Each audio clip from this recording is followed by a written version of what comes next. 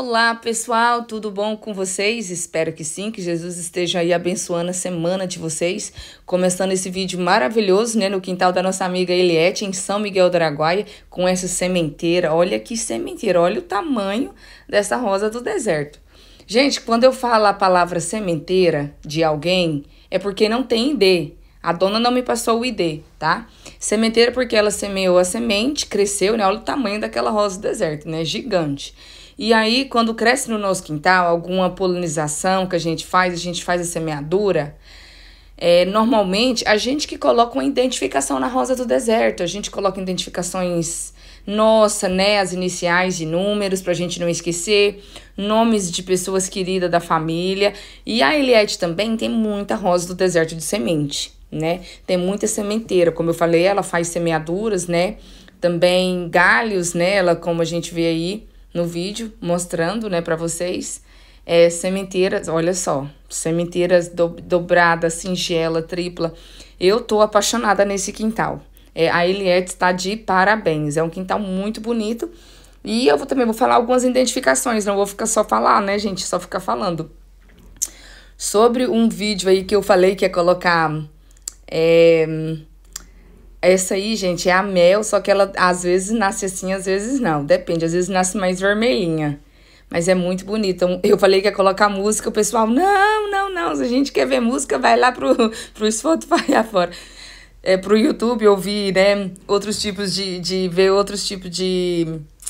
Ai, canal, mas eu ri demais. É porque uma pessoa, uma pessoa só que falou que seria bom, né? Eu, eu gosto de falar mesmo e tá explicando para vocês tudo, né? Olha só essa maravilha. É VM84. Gente, é bonita ou não é? Lembra um pouco a hum, Chibimaruco, mas não é. É VM84, mas é muito bonita.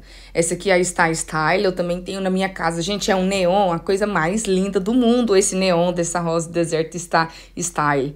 É linda demais, né? Muito bonita.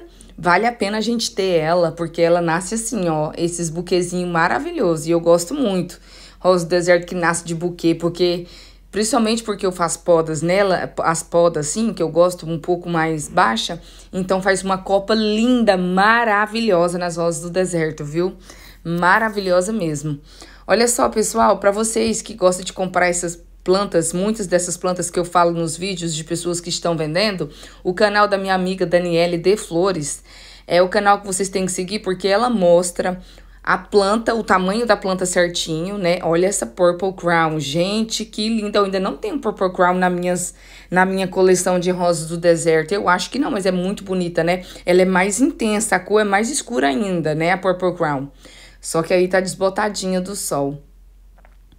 E aí, gente, é, é, é, eu gosto de ir falando as identificações, aí vai misturando, né, com a conversa. E aí o canal da Dani vai ficar, eu vou deixar aí no primeiro comentário para quem quiser seguir, porque lá ela mostra os preços da planta e o tamanho, disponibilidade de envio, tudo certinho. Então, segue aí porque ela vende as plantas do meu quintal, os enxertos, né, e de outras pessoas da redondeza lá de São Miguel do Araguaia. Olha só, continuando aqui com essas maravilhas da Eliette, viu? Muito obrigada por permitir mostrar esse quintal lindo com essas belezuras da natureza, né? Dividir com o canal Juliana Silva e todos aí inscritos desse canal. Essa pareceu muito a Black Swan, mas eu não acho que seja a Black Swan, né, pessoal? Não acho que seja, mas ela é muito bonita. Gostei muito dessa singela.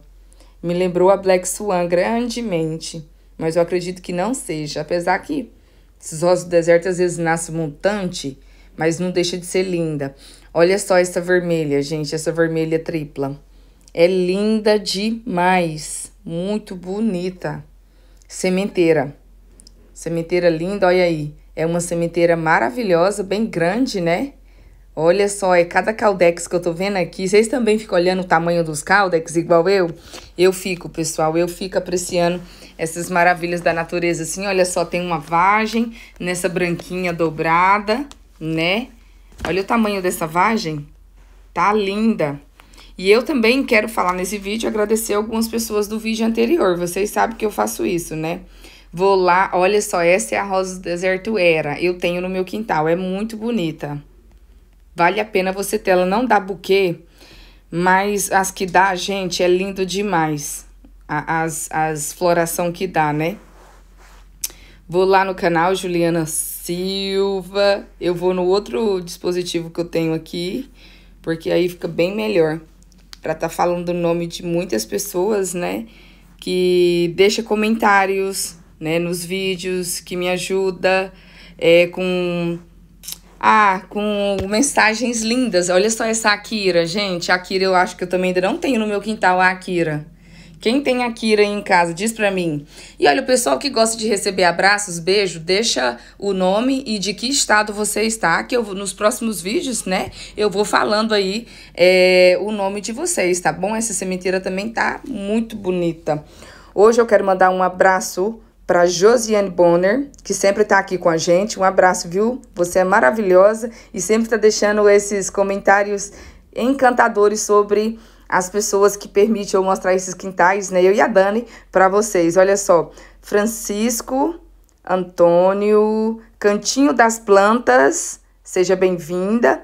Juraci Leal, Cleide Ferreira, Eliette Arruda, Edinalva Pereira, Daniela, Flores Rosa do Deserto, né? É a pessoa que eu tô falando para vocês seguir, porque lá ela mostra cada floração e o tamanho da planta certinha. Não são vídeos tão longos, mas às vezes tem uns vídeos assim que a gente. Olha só esse quintal, gente. Olha só esse quintal, que maravilha. Essa roseira, eu fiquei apaixonada nessa roseira. Vai ter que trocar muda comigo com essa roseira, é incrível. E ela tem muita sementeira, como vocês estão vendo, muita coisa bonita mesmo. Aurilúcia Batista, beijo, meu amor.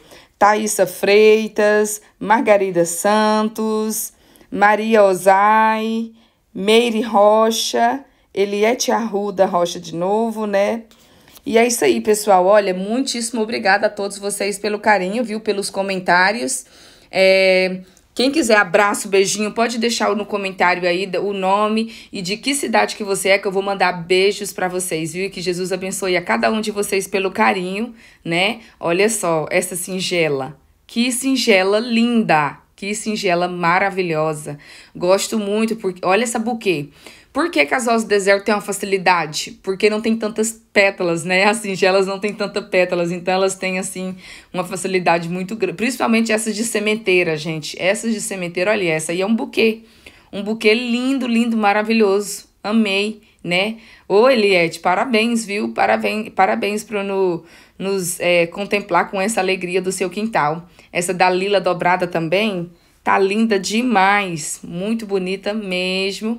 Dalilas estão muitas que nascem, né? Dalilas singelas, pessoal, muita mesmo. Olha só essa outra aqui, sementeira também, viu? Como eu falei, sementeira não tem identificação, porque às vezes, mesmo escrevendo lá, a pessoa talvez não entenda que as sementeiras é a gente que dá um nome que quiser, né? A identificação que queira para a planta. Olha essa ghost, né? Eu não tenho a Ghost, mas eu tenho uma semelhante a Ghost, que é a é uma mini. É semelhante a essa daí. Olha só, essa aí, tá vendo? Ghost EV75.